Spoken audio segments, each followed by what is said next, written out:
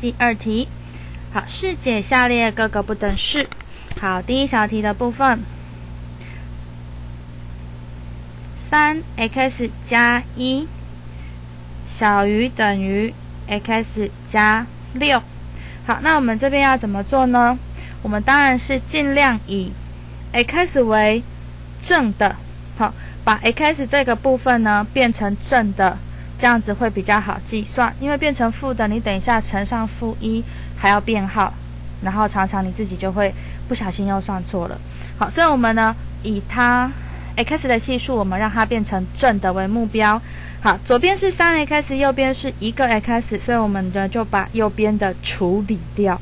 好，我们把它减掉，所以就是减一个 x。好，右边减了，左边当然要配合一下喽。好，那再来，我们就要处理这个常数。好，左边是一，右边是六。那我们把这边的 x，右边的 x 处理掉了，所以我们当然就是要把左边的常数处理掉。所以呢，左边减一，跟着右边也减一。好，这边呢，左边的把它处理掉了。好，整理一下，左边剩下什么呢？三 x 减 x，所以是两个 x，小于等于六减一，所以等于五。好，两边再除以二，所以 x 小于等于二分之五。好，接着我们来看第二小题，两倍的括号 x 加二括号。小于三倍的括号 x 减二括号，好，那有括号，我们当然要先把它乘开喽。好，乘开用分配率乘开，二 x 加四，好，二 x 加四，我们把它写下来。好，那右边呢？三 x 减六，好，那这个时候呢，我们的 x 要以哪一边为主？我们要杀掉哪一边？左边好还右边好？记得一个原则，让 x 的系数变成正的，会比较不容易出错。所以呢，我们只好杀掉左边喽。所以减二 x。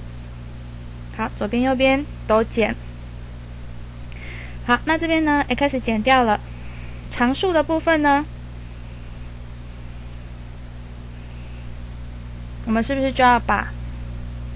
右边的常数处理掉，本来是减六，所以我把它加六。好，左边也一样加六，然后最后我们就可以把它写出来喽。左边的话，常数四加六是十，右边呢，三 x 减二 x，所以剩下 x。好，所以十小于 x，但是我们的答案要这样写吗？不习惯，对不对？所以我们呢要把它从右边念回去，好，从右边念回去就是 x 大于十，所以就是 x 大于十。好，这是我们第二小题的答案。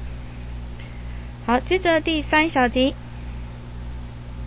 好，第三小题看起来好像比较长哦，但是没有关系，它是一样的做法。好，那我们试着快一点点来做，就不要把每一个步骤都写的这么的详细。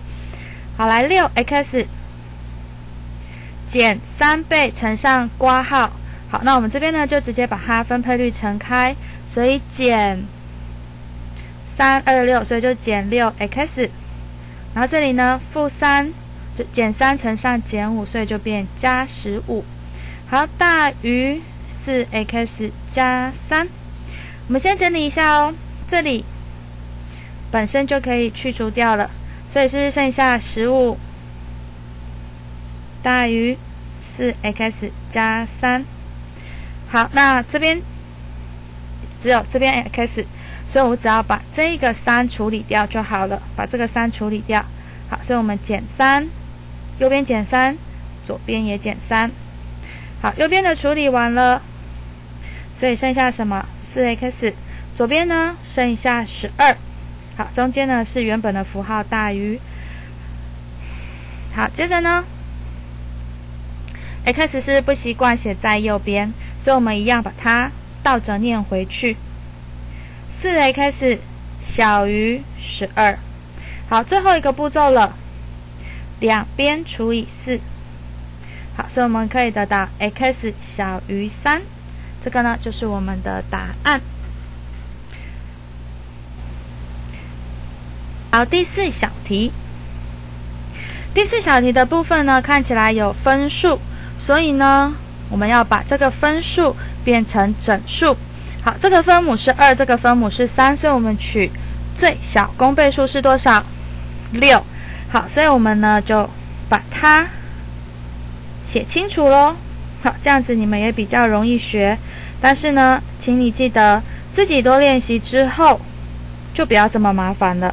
好，不然你会觉得说。我算一题数学，我就要算好久好久，好累好累。所以很多东西就是你一开始学的时候要写的很详细，但是你已经会了、熟练了，很多东西步骤是可以不用这样写，一步一步的。好，我两边乘以六之后，来乘开。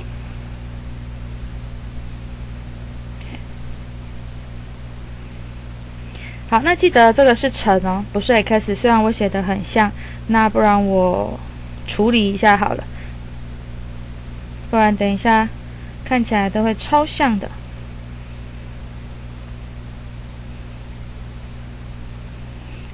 挂号的这边呢，我们是可以不用写，但是这个一的部分这边一定要写。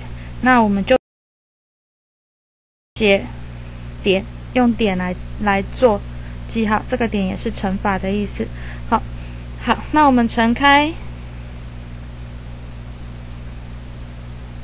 六乘上二分之 x，二跟六约分是剩下三 x。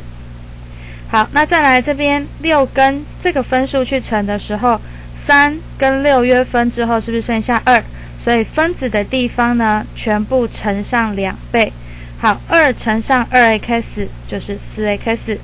再来二乘上负一，好，二乘上负一是多少？负二。对不对？好，小于等于右边的六。